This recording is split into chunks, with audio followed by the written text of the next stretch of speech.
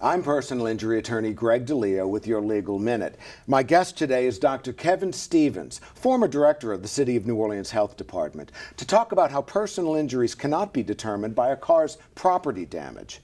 Welcome, Dr. Stephens. Thank you. Is there any real correlation between a car's property damage and the injuries to the occupants? Uh, there usually isn't because sometimes you can have a whiplash injury and you can have your head can hit the back of a seat rest or the dashboard and it doesn't really matter what's happening on the outside. What matters is what's happening on the inside. So you can still have a bad injury even though there's very little property damage? Absolutely. Thank you, Dr. Stephens. I'm personal injury attorney Greg DiLeo, and this has been your Legal Minute.